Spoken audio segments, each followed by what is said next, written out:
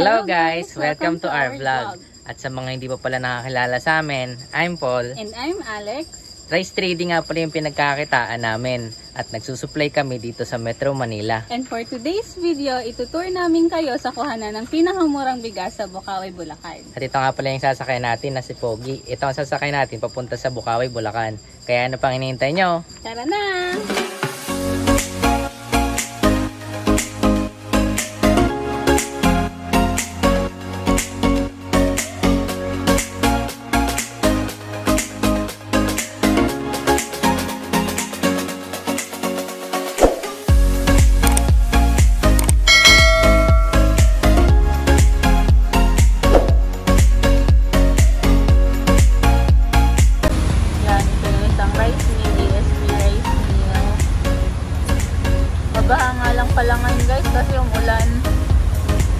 Hirap dito kapag umuulan.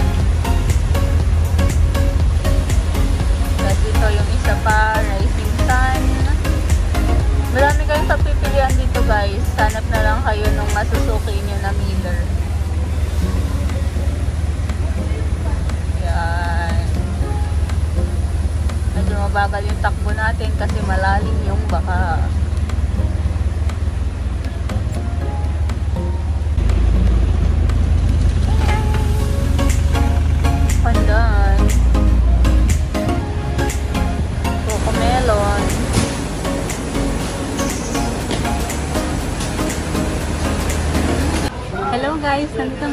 Tayo sa isa rice mill na kinukuha natin sa Bukawi. Yung kinukuha namin dito, usually yung mga imported rice.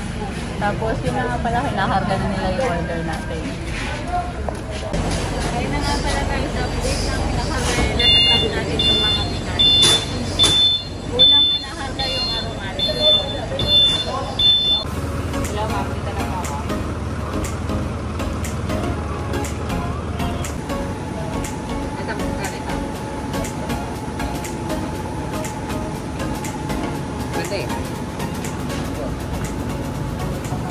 Magaganda. Dito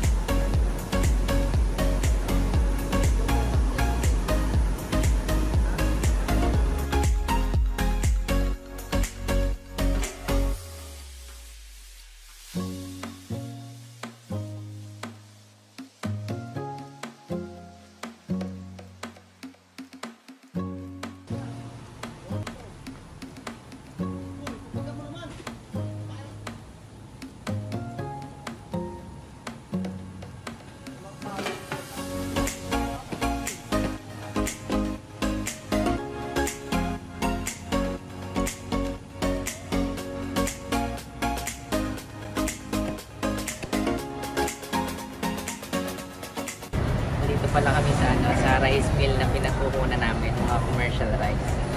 Ito mga iba't ibang klaseng variety ng ano. Ng bigas. Dito mo makikita. Ang dami kasing mill dito eh.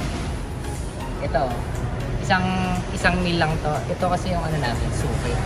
Kung kumbaga suki-suki. Ito, lawak ng mill na to.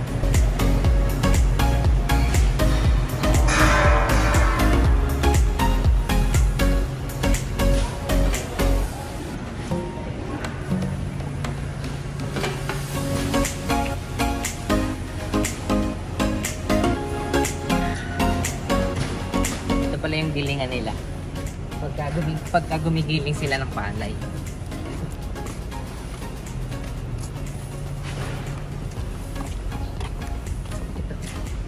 Medyo dugyot. Tapos ito naman pagka nagiling nila. Ito. Pagka nagiling na nila. Tapos ito yung mga palay. Nagigilingin pa lang nila. Malawak yung ano eh. Malawak yung space, no? Ito naman, pagka yung, yung finished product na, dito na nila inaano, sinasako na nila, sinasako na nila. Iba-ibang sako eh. Kunyari, kada variety, iba-ibang sako. Kagaya nito, Susan Angelica. Merong buko pandan. O merong maharlika. Marami. Merong jasmine. Ayun, o, merong meron ding ano, meron ding well meal. Mga ganun. Dito lagi kami kumukuha ng ano, ng mga commercial rice. Yung pang mga pang mababang bigas. Yung sariling atin local.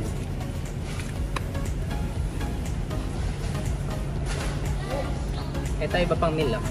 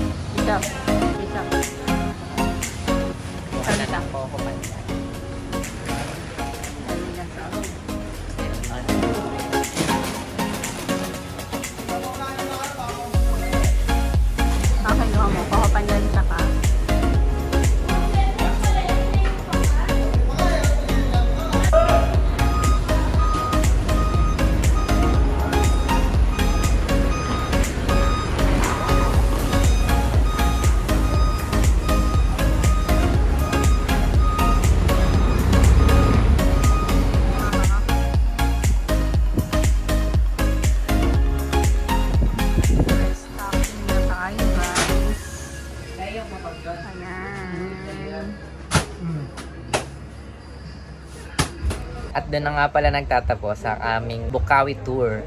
At para sa mga interesado sa ganitong klase ng negosyo, magpo-provide kami ng tips on our upcoming videos. Yun lang. Bye-bye!